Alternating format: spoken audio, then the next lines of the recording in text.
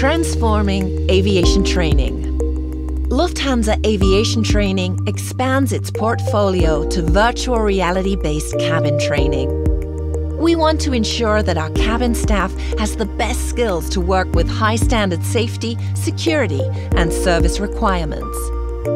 At our new VR training facilities in Frankfurt and Munich, up to 20,000 crew members from the Lufthansa Group will complete our professional VR cabin training courses.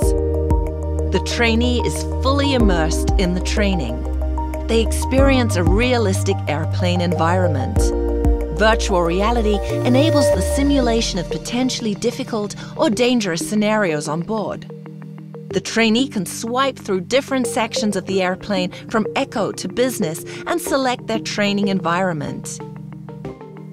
In the future, our system will also learn how to suggest the best learning strategies by analyzing data produced by trainees during a training session.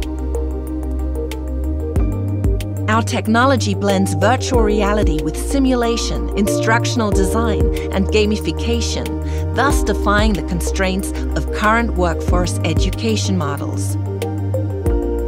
Let's learn by doing. The new LAT Virtual Reality Aviation Training.